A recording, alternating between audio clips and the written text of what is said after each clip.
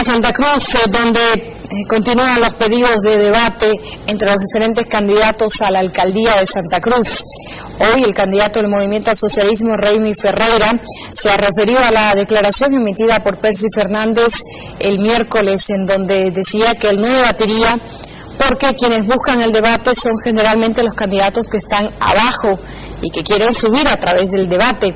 Raimi Ferreira cree que no es que Percy Fernández no quiera, sino que no puede debatir. Lo que pasa es no puede debatir, ¿no? Él no está en uso de sus facultades y, claro, ¿qué podría debatir? Si los que manejan la alcaldía hace años es un grupo de segundona que son los que manejan la alcaldía. Él está en las nubes, él es una imagen simplemente. Lo único que puede aparecer y reír y punto. Ni coordinar un discurso puede. ¿Qué puede debatir? Yo no creo que tenga capacidad de debatir, por eso ese tipo de declaración. Es el que tiene que ver eso, ¿no? Si quiere un alcalde que esté encerrado en cuatro paredes, que no reciba a nadie, que no vaya a ningún barrio.